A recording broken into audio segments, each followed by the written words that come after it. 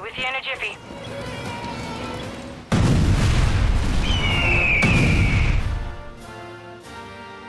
August 21st, 1973.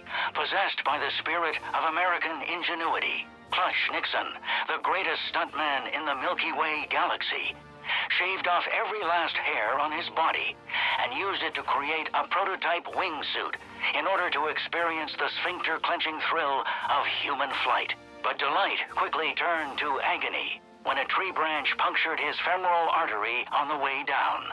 Fortunately, the blood loss made him more buoyant and aerodynamic, allowing him to become the Lord of the Wings, a stunt the likes of which has never been seen again.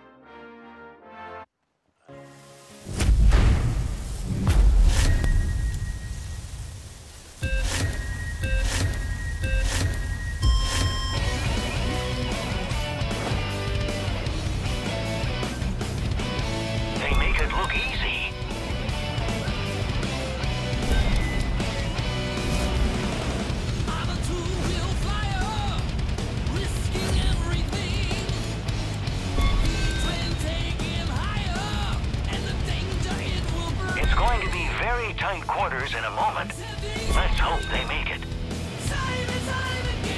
They're coming up on the most dangerous part of the course now.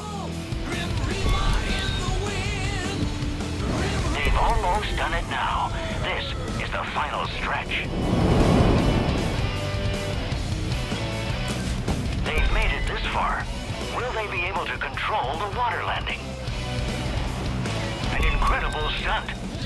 Survived.